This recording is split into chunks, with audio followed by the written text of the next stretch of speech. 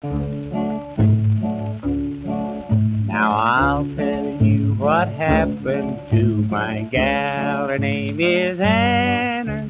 She'd entertain me Sunday night while playing on her piano.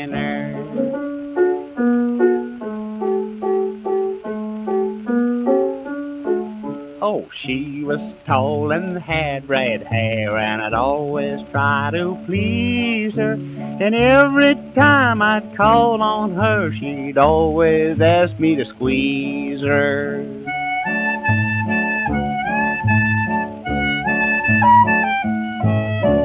Took her to a ball one night and we went out to supper. She fainted and fell across the table and stuck her nose in the butter.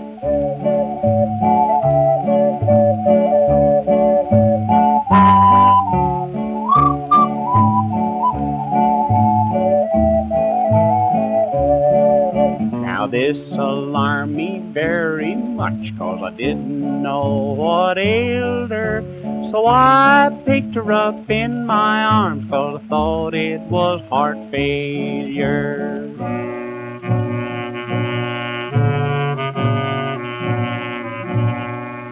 I pressed her gently to my heart to start the circulation.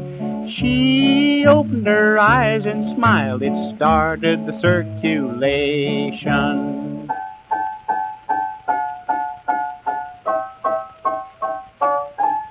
Was shortly after this event we had another sensation. She fainted while at church, which caused great consternation.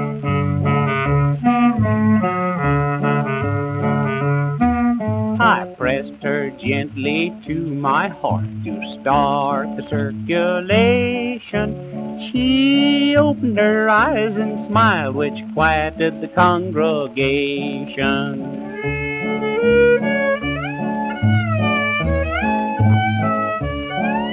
I've just got one more thing to say in the way of explanation. I'm gifted with a magnetic power which makes me a reputation.